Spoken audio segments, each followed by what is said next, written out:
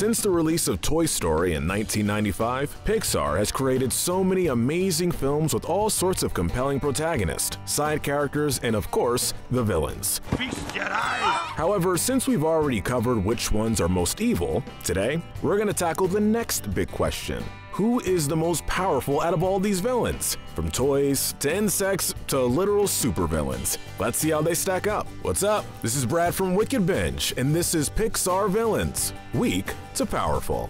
No, no, I'm a new superhero! Now, since this is a brand new topic we've yet to cover, let's break down the criteria. The first point to make is we'll be ranking these based on their positions of power contextually in their stories, which means that their size and species don't necessarily determine their placement. We want to know how powerful these characters are in their world, specifically in regards to all the characters around them. Otherwise, villains like Hopper would be crushed like the bug that he is. In addition to this, the second point we'll be weighing heavily is how much of a threat the villain is to the heroes of the story. It's also worth mentioning that only the main villains will be on this list. Therefore, we won't be adding Dean Hardscrabble or Anton Ego to this list. These two are not necessarily villains. They're simply individuals featured in their respective movies to their jobs effectively. Hardscrabble being a dean to the school, and Ego performing his role as a food critic. This can also include Sterling, since he doesn't really play the role of a villain, just a businessman looking for a way to make more profits toward his company. Now then, we'll be starting with the weakest characters and working our way up to the powerful. In the very last spot, we actually have a tie. However, since both are from the same movie, we think it's understandable to rank the Rustlers and Thunderclaps gang together. Overall, both of these groups aren't very powerful. The Rustlers are easily beaten down in the fight and run off as soon as this fact becomes clear. Thunderclap's only advantage is his ability to spot a lie, but this does him little good in the end. Truthfully, his gang would have been placed higher on the list because of their ability of flying and outnumbering their enemy to secure food. If only this strength didn't turn into their biggest weakness when food is present, seeing as no one in the group was ever taught the importance of sharing is caring. Maybe they'll learn once their bath time is over. Next up on the weak side of the scale is Sid from Toy Story. In the human world, he's just a disturbed kid with presumably a bit of a messed up home life, but to the toys, he is a killing machine. He tortures toys just for fun! So these two realities kind of balance each other out. He definitely has power over his dog, and he not only messes with his own toys, but he also tortures his sister's toys. He's very capable and knows how to use his tools for his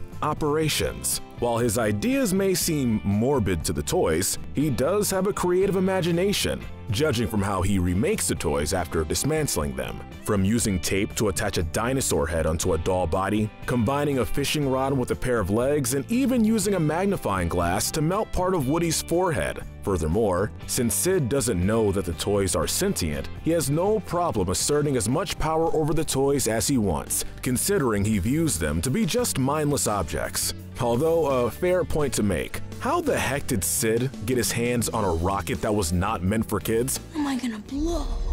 And how in the heck do his parents never notice him playing with explosives? Either he's smarter than he looks, or his parents just don't care what he plays with. Regardless, when Sid finally finds out that the toys are alive, he loses all of his power over them, since he now knows that the toys can think and feel, which, let's be honest, is a terrifying thought to consider. Coming up next is Al from Toy Story 2. A couple of points in regards to how powerful he is. For one, he's not above stealing, lying, and using aggressive means to make a profit. And two, the only reason why Al is seen as powerful to the toys is simply due to the fact that he's a human. And unlike with Sid, the toys cannot interact with Al directly or stop his actions themselves. Of course, judging from his apartment and business, you could say that he's already making a good living for himself, but greed is definitely a major factor in his power arsenal. When you drop the toy perspective, however, Al seems like an unlikable guy who doesn't get a whole lot of respect from anyone and probably doesn't have a whole lot of power in the human world. Moving on to Stinky Pete from Toy Story 2. Pete has a lot of inside knowledge which gives him an edge. He also shows signs of mental manipulation as he tries to convince Woody to stay and be part of the collection. He also has great influence over Jesse and Bullseye. His mind games are what give him a lot of his control over the situation at hand. It's too late, Woody. He's even clever enough to frame Jesse for his interferences as he turns on the TV to stop Woody from getting his arm back. He even uses guilt with Jesse and Bullseye to his advantage as well, and takes advantage of Woody's insecurities. He finally changes his method when Woody decides to go back to Andy. His methods change from psychological to physical means, using force by any means necessary,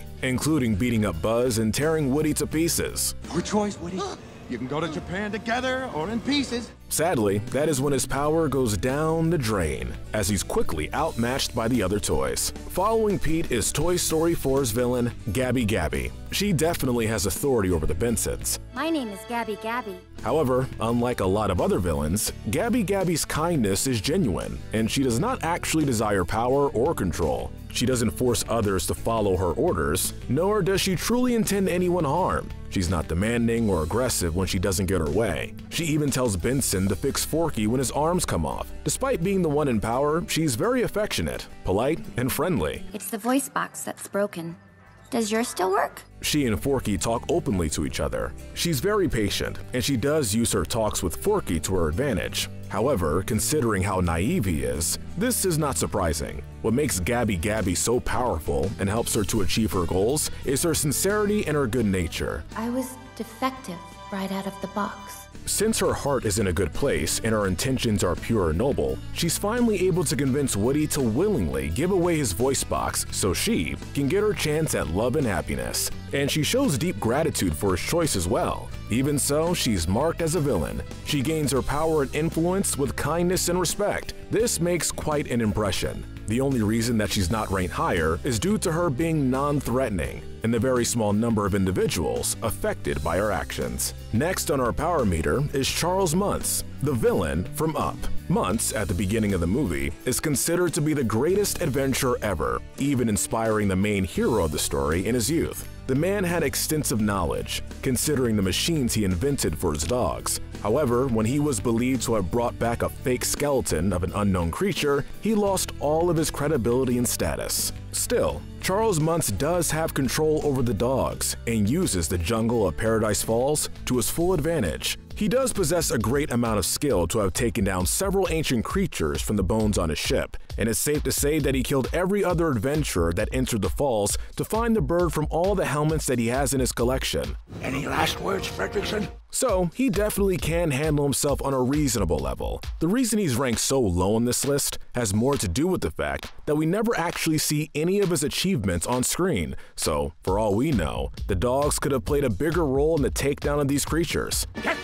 Furthermore, the man doesn't have much interaction or influence over anyone out of Paradise Falls, which does take away a lot of his power points. Overall, this guy may not be very powerful, but he's definitely mad with the power he does have. Moving up the scale, we have Roar Omega Roar from Monsters University. Specifically, Johnny Worthington. He's the president of Roar Omega Roar, and as such, his only goal is to make sure that his crew remains the top scares on the campus grounds. They only want the best in their crew, which is why Sully was kicked out of the group to ensure that their reputation didn't slip. Aside from being a hotshot fraternity, these guys don't have much power on campus. However, the students all seem to follow the popular crowd, and since they make fun of the Oozma Kappa, peer pressure means that everyone else goes with the flow. They're stronger and more terrifying, and that fact does give them an edge. However, their arrogance is definitely a big reason why they resort to cheap psychological head games, such as humiliating the competition to make sure that their top spot stays in place.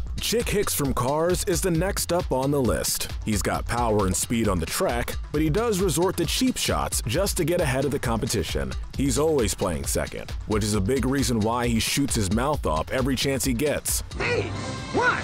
What's going on? His strongest source of power is his cockiness, and while he put a foot forward for his team, he relies mostly on himself to win, though he's more interested in using powerful positions to break down his competition than he is in improving himself. At least he's nice to his audience and his fans, and he does use his extra time to prepare for his goals. The only real power this guy has is his reputation on the track, his cheap shot tricks, and his drive to outrun the competition, even resorting to stealing his competitor's slogans to fuel in his own ambitions. However, despite the fact that he wins the race, since he won in just an uncool way, many of the audience did not even acknowledge his win, which cost him quite a few power points. Moving on, we have Jackson Storm from Cars 3. The biggest sources of power that this guy has is the fact that he's young and strong, which does manage to get under Lightning McQueen's hood, since he was able to beat the champion quite a few times during their races. You have no idea what a pleasure it is for me to finally beat you. And this does cause him to become very overconfident in himself, which is a big factor in his power threshold,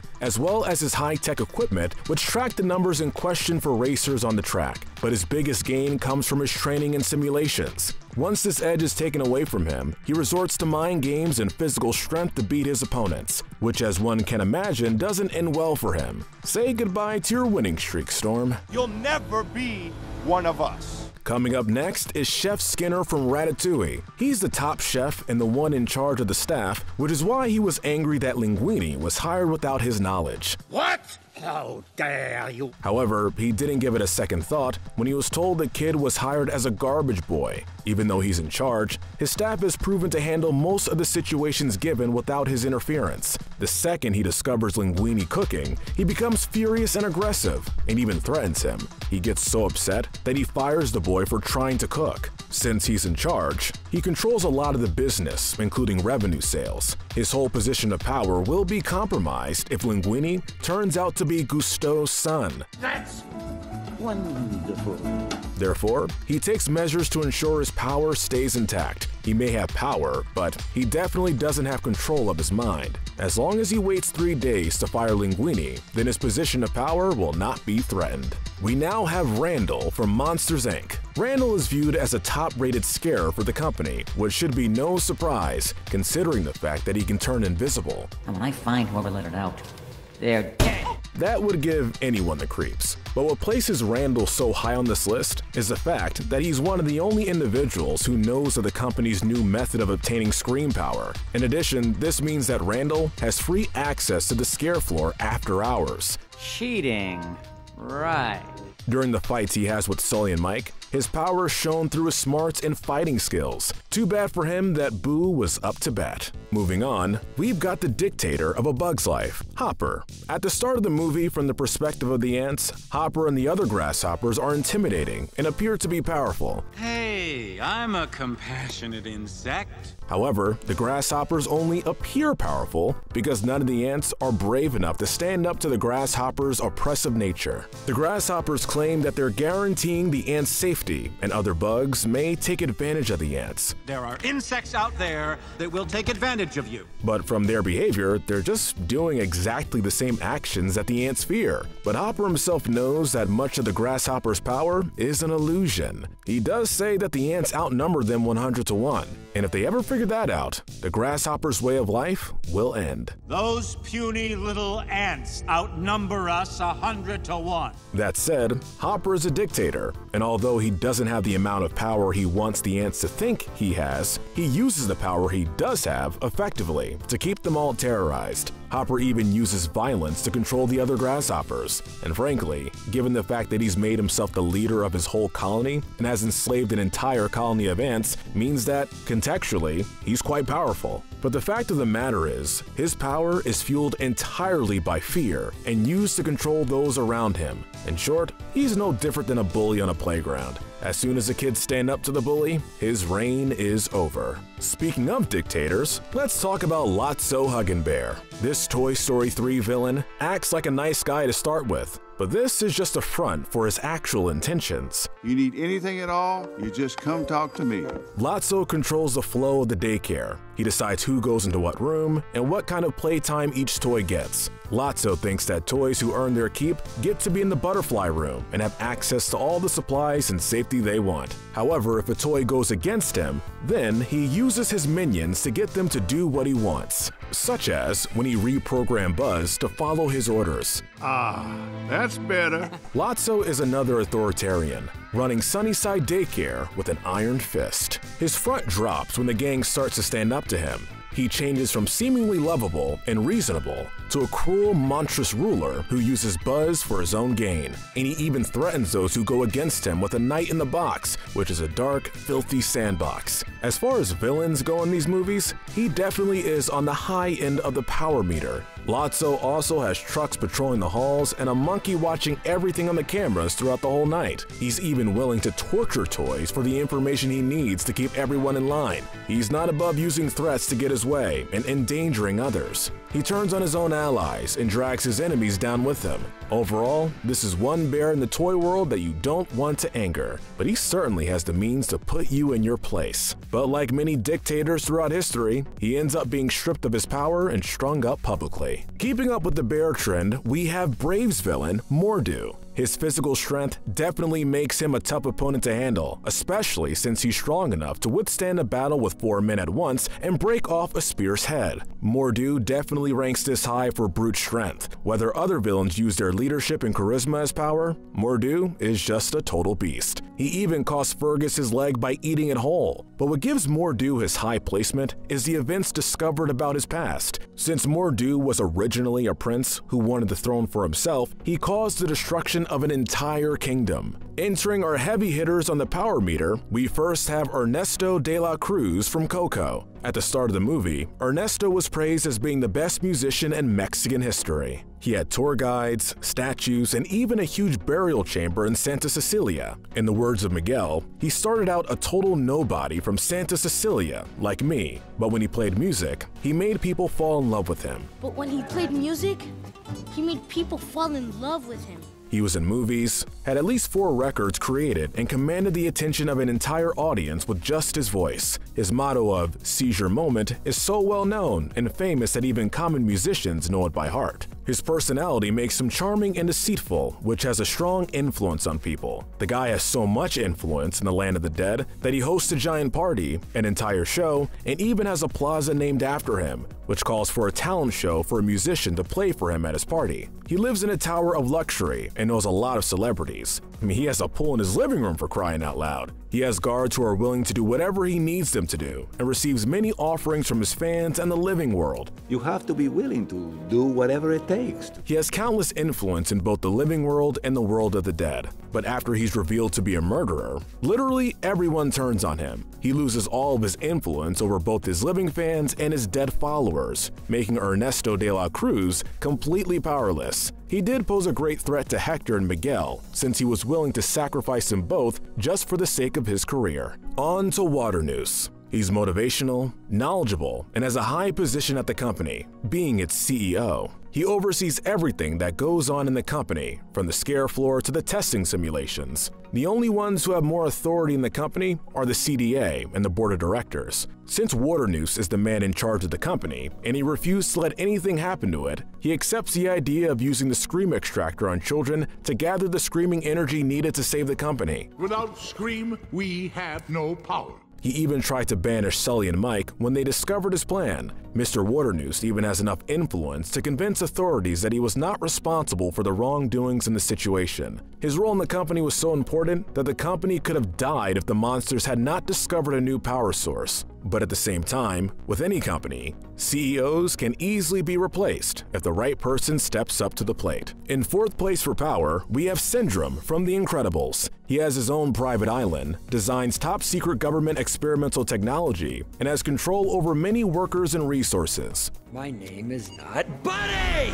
He also has incredible knowledge of his surroundings, his weapons, his gadgets, and his enemies, which he uses for his test runs on the weapons he develops. Now you respect me, because I'm a threat. His whole island is filled with technological advancements, and unlike the Supers or even Batman, he invented his powers and uses them effectively. This gives a very big advantage over his enemies. He's wealthy due to his job creating weapons for the government. He also has enough power to unleash a weapon of mass destruction on the city, has tracked down countless Supers, killed them, and still received enough funds to run his project. Unfortunately, his robot eventually learned how to outsmart even him, which cost him a lot of what he worked for. And since his plan failed, Syndrome has lost all of his power, money, and resources, and his life. Our bronze medal of power goes to the villain of The Incredibles 2, Screenslaver. She is the co-owner of a huge company alongside her brother, so she definitely has access to money, influence, and technology.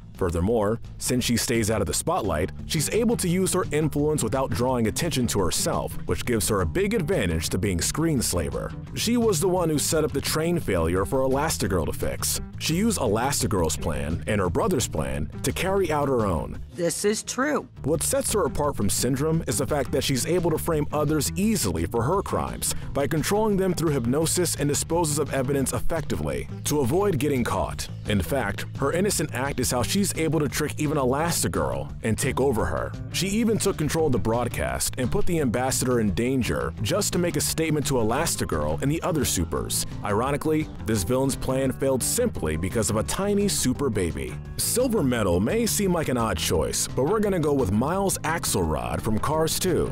For one, he had enough money and publicity to promote a renewable clean fuel for other cars to use, and taking this even further by arranging a World Grand Prix which features racers from all over the world. That definitely takes a lot of wealth, fame, and connections to get these racers involved in the competition. He's even able to get all the racers to use his new fuel for the race. Furthermore, since he's quite the charmer, he can command the attention of the entire room and throw suspicion off of himself easily. Probably shouldn't be saying this at all, but I hope you win today. Since he's rich, he can hire as many low lives as he needs to put his plans in place, including the professor who we see accomplish quite a great deal in the movie. His powerful influence also nearly causes the deaths of several main characters in the film, including Mater, Lightning McQueen, and our two favorite accents, Holly Shiftwell and Finn McMissile. And for the gold medal of the most powerful of all the Pixar villains, we're gonna go with Auto from WALL-E. Auto takes his job very seriously, basically being second in command on the Axiom.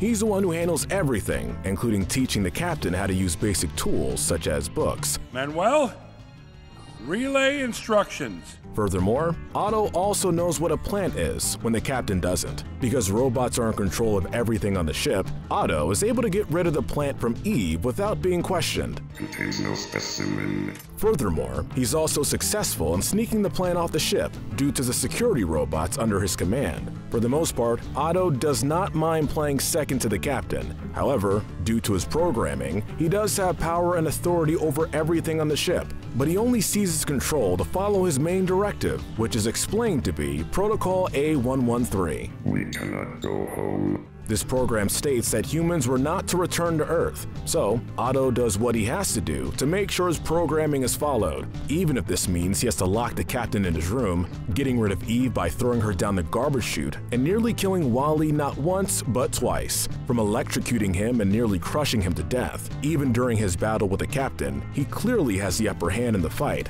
The only thing that stops him is his off switch. Otherwise, it's pretty safe to say who could have won that fight. But what do you think? Who are the weakest and most powerful Pixar villains? Let us know in the comments section below. Remember to hit that notification bell and binge our Good to Evil playlist, where we break down the morality spectrum of your favorite cartoons and movies. But most importantly, stay wicked.